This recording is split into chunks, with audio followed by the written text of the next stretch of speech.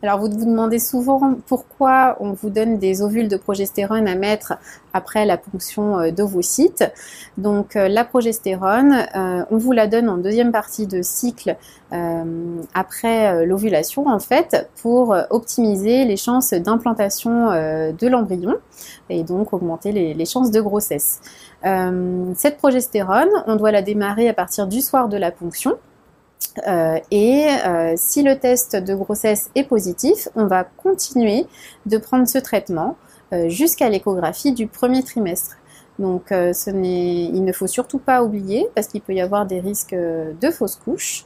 Euh, et les différentes modalités pour prendre la progestérone, on vous donne dans la plupart des, cas des ovules intravaginaux, donc à mettre bien au fond du vagin. Donc c'est vrai que ça peut provoquer des, des, des sensations un peu désagréables d'écoulement de l'ovule. Donc souvent on conseille, en tout cas le soir, de la mettre juste avant de s'endormir pour euh, limiter euh, euh, ces effets désagréables et le matin de s'allonger au moins 10 minutes à un quart d'heure pour absorber au maximum la progestérone de l'ovule.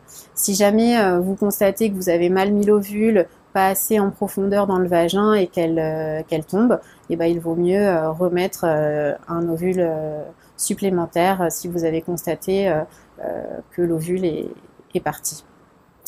Euh, on peut donner d'autres euh, formes de progestérone. Il existe des injections euh, en sous-cutané ou des injections intramusculaires. et parfois, on peut aussi donner de la progestérone par voie orale. donc ça, ça dépend vraiment des habitudes des centres.